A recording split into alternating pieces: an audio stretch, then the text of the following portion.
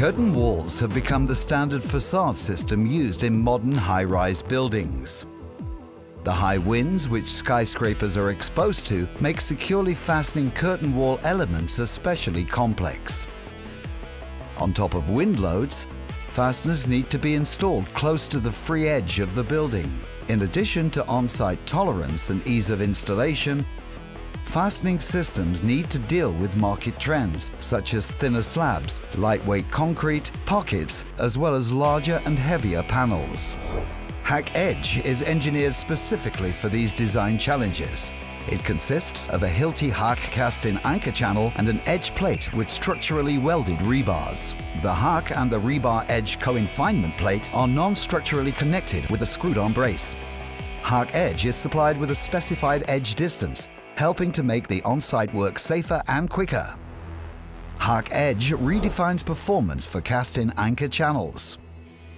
Often, the limiting factor in top-of-slab design is the breakout strength of the concrete edge.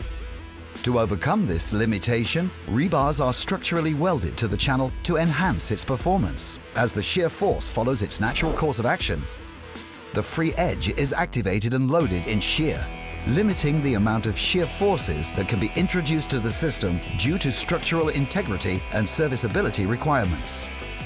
The rebars are fully activated only after deformation of the system occurs and large cracks are formed.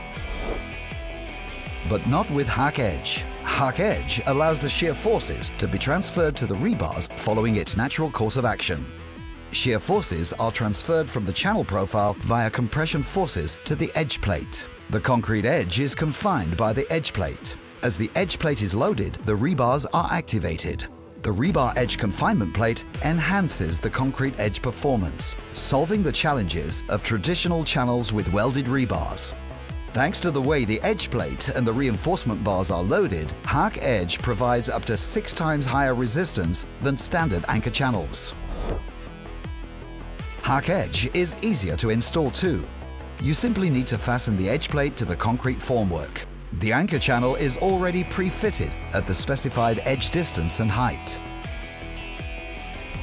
Corners can be easily created by combining a HAC EDGE and a HAC EDGE C corner versions, placing rebars at two different heights to avoid clashes.